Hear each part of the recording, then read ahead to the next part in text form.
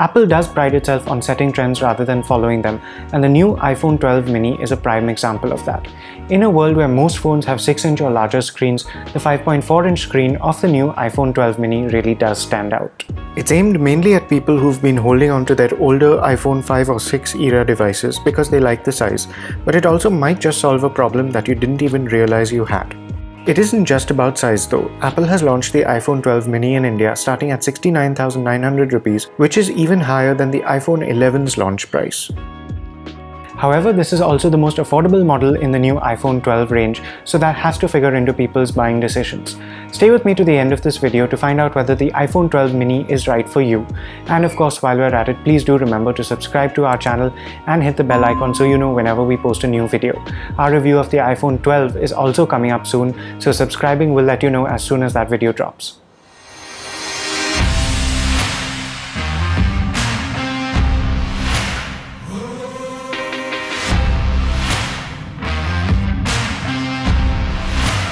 When you hold the iPhone 12 mini in your hand for the first time, it just makes sense. Sure, it isn't for everyone, and mainstream phones are huge because that's what sells. But I think a lot of people will feel relief and satisfaction when they see an option like this. I also think a lot of people will choose the iPhone 12 mini over the standard iPhone 12 purely because of this. With the iPhone 12 mini, there are almost no compromises except where we run into the laws of physics. The iPhone 12 mini has a smaller 2227 mAh battery compared to 2815 mAh for its bigger sibling. Third-party reports and teardowns have unearthed a few other details. Wireless charging is limited to 12 watts rather than 15 watts, and the bottom speaker as well as the Taptic engine vibrator are shrunken. The iPhone 12 mini is virtually the exact same phone as the iPhone 12, just in a smaller package. We'll soon examine what this means for performance and usability. You might think that the small screen is going to feel restrictive if you're used to something more mainstream, but it really doesn't. iOS 14 scales brilliantly and everything is within reasonable proportions. Unless you need to work with huge spreadsheets or A4 sized PDFs, you won't have much trouble. Sure, full screen video and games aren't as immersive and typing might feel a bit cramped, but if you can't have your cake and eat it too, at least now you have an option. I think these downsides are outweighed by the positives. The iPhone 12 mini is incredibly easy to use even one-handed, it's very pocketable and it's shockingly light at 133 grams. I could walk around with it in my hand and not worry about grip, I could drop it in a pocket and not have it stick out, and I could have long conversations or record videos without feeling an ache in my wrist. If you're coming from any iPhone older than the iPhone 8, you won't feel that you're losing out or going backwards. The iPhone 12 mini is physically smaller than the iPhone SE 2020 but has a larger screen and is only slightly bigger than the original iPhone SE. Apple claims that its new ceramic shield material is four times more resilient to damage in case you drop your iPhone, which is great news considering the astronomical prices of repairs that you would have to deal with otherwise. Sadly, the screen isn't less susceptible to scratches, and I did notice several tiny nicks and a few more serious ones within a week. You might want to consider an adhesive screen protector. The display is incredibly sharp with a higher resolution and pixel density than even the iPhone 11 screen. The move to OLED panels across the lineup makes for vibrant colors and rich contrast. Apple's True Tone feature allows the screen to calibrate itself based on ambient light. Sadly, there's no always-on display mode for when this phone is in standby. You also don't get a high refresh rate panel which is now standard on high-end Android devices, although iOS 14's animations do feel extraordinarily fluid. Speaking of iOS, you get exactly the same experience across the iPhone 12 family and plenty of older models. We've covered the best hidden features of iOS 14 along with the best iOS 14 features for India in other videos, so do be sure to check those out iOS doesn't have as many bells and whistles as many custom Android skins. For example, you can't run multiple instances of some apps, and you don't get as many UI customization options. However, the experience is very smooth and you do get Apple's commitment to privacy and security. You can also reasonably expect major version updates for at least 3 years, likely more. We've talked about the display, but sound quality is also worth a mention. The iPhone 12 mini can get quite loud and the stereo effect with the earpiece and bottom firing speaker is fairly natural. The bass is thin but the sound doesn't distort and is surprisingly rich overall.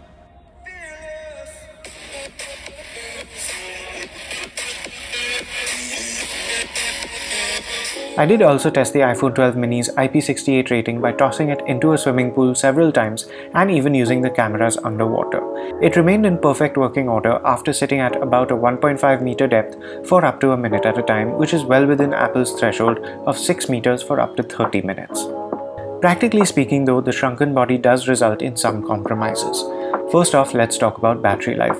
With a physically smaller battery, it shouldn't be a surprise that the iPhone 12 mini is rated for the lowest runtime in the range.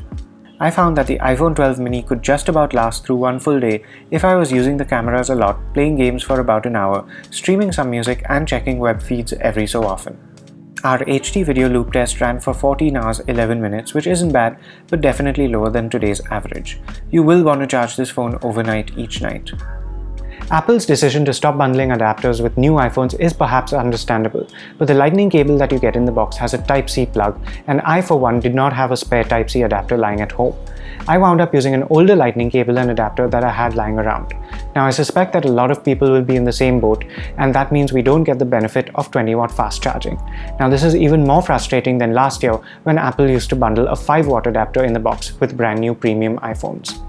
The second issue with cramming so much high-end hardware into such a small space is heat. There's no doubt that the iPhone 12 mini gets noticeably warm when running heavy games or tests for a while.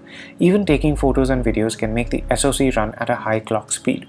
The phone didn't get stressed out too much or become unable to perform smoothly at any point with ordinary usage during this review, including with heavy games such as Asphalt 9 Legends and Call of Duty Mobile. The two rear cameras and single front camera on the iPhone 12 mini are exactly the same as what you get on the larger iPhone 12 and in fact you also get pretty much the same features and capabilities as you would with the iPhone 12 Pro, which costs nearly twice as much. Colors tend to be almost clinically neutral with no artificial boosting to make them seem more vivid. It was sometimes a little hard to verify that focus was locked, but results are absolutely spectacular if your subject is isolated with the background far behind it. The iPhone 12 mini was at its absolute best when capturing close-ups with superb depth of field and crisply defined foreground subjects. Daytime exposures were spot on, textures were crisp and detail was often surprisingly precise. The wide-angle camera does a great job as well and distortion is minimal. Portrait mode recognizes people and animals. You might have some luck with other objects but don't expect great edge detection. You do need to be at the right distance and very often you can get perfectly crisp results in the default photo mode without even bothering. Nighttime photography is where the iPhone 12 mini really excels. Night mode can deliver some truly phenomenal results and being able to use it with the wide angle and front cameras is highly satisfying. The phone usually needs to be held still for 1 to 3 seconds, but you can push this all the way up to 29 seconds which only makes sense if you're using a tripod. I was able to capture entire landscapes with cleanly defined areas of light and dark, even in the distant background. Where other phones produced only blurs, the iPhone 12 mini could capture unnervingly crisp detail even when it seemed as though there was no light around. With indoor lighting, some night mode shots looked like they could have been taken in the daytime. Video is similarly crisp both in the daytime and at night. Motion is extremely smooth at 4K as well as 1080p, though there's a noticeable difference in stabilization when switching between the primary and ultra-wide cameras.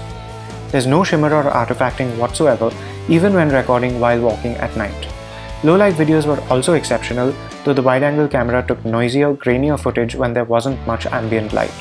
Slow-mo video capture goes up to 240 fps at 1080p and is just as crisp as regular video. iOS offers loads of editing tools and you can decide how much of each clip plays at normal speed and when exactly the slow-mo effect should kick in. The front camera is just as good as the rear ones.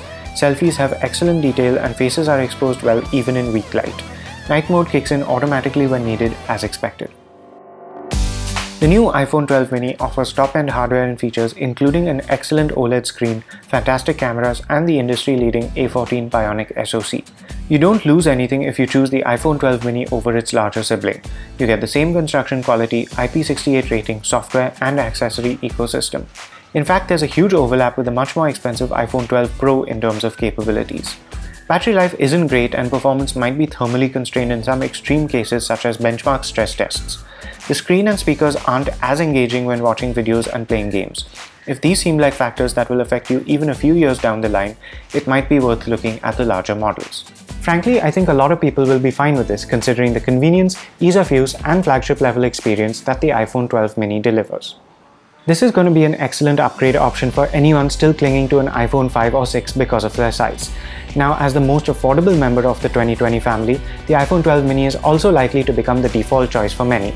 It costs 10,000 rupees less than the iPhone 12 and a whopping 50,000 rupees less than the iPhone 12 Pro despite offering many of the same features, which means the value proposition is undeniable. That's it for our review of the new iPhone 12 mini. The iPhone 12 review is also coming up soon, so do stay tuned and subscribe to Gadgets 360. Thanks for watching.